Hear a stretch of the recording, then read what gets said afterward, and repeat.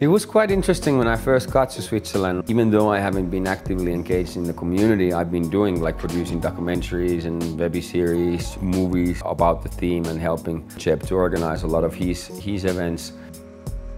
But then at the same time, like I didn't really want to connect with the community before because I was I was pushing it hard when I was there. A lot of my friends died and I got injured. A lot of them got injured. As a base jumper, you, you kind of learn to deal with it, but you know it still sucks. So that's kind of like I took many years off from base jumping, and then of course I was I was fortunate that I had all the friends that I, I, I maintained in touch with. But those were the people who I jumped with and who I knew but I didn't make any extra effort of trying to learn to know any new base jumpers. Maybe out of protection for myself, I just didn't want to go, go through the through the experience of loss or, or again or the grief. Over the last couple years, we've been organizing events where we get a like you know the elite group of jumpers. So I got to know like you know the top of the top, who were the best, and and and they you know the great char characters and amazing people to be around. But then there's also like, you know, the 99% of the people who are like, you know, doing it out of the passion, who haven't figured out a way how to make it a, job yet, who still have such an amazing thirst for life and adventures. And, uh, and that was the thing that I forgot. It was nice first thing when I went down to the Horner and it almost felt like it was my first day in the school.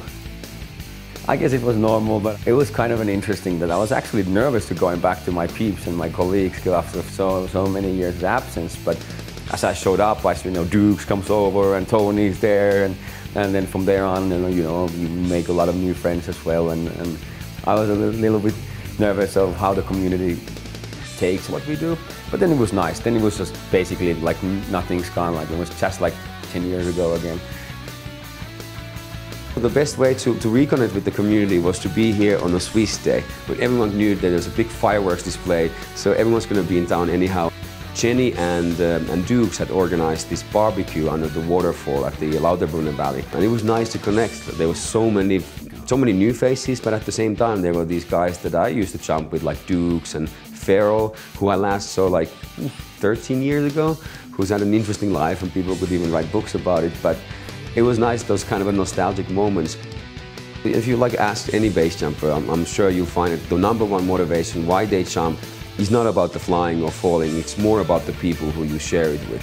Like the average people, I reckon there's like about 80% of people are fucking just idiots. 20% of people are okay. And in base jumping, it's the opposite. There's only 20% of fucking idiots that get into it, and the rest of them are really nice, genuine people. They're, everyone's happy to fucking help out. They, they don't meet, they haven't met you, and they'll let you stay in their fucking house, but they're not even there.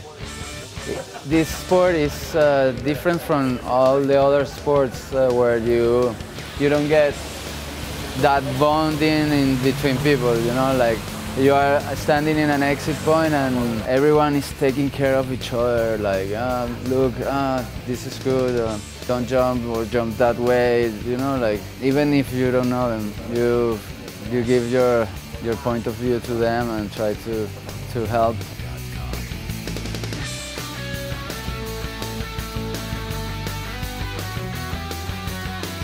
And when you land, you are like, wow.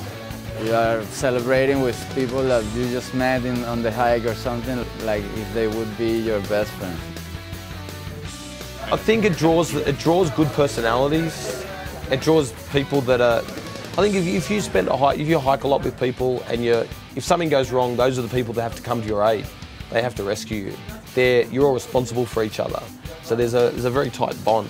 If you're, if you're a fucking mountaineer and you're climbing some big face and the shit hits the fan, it's your climbing partners that have got to help you. I'm sure there's a couple of like, you know, loners out there or kind of other people who are doing their own thing, but generally, like, you know, a lot of the base jumpers are social creatures. And there's nothing better than going down to the corner and, uh, hanging out. It's been nice. It's been really refreshing.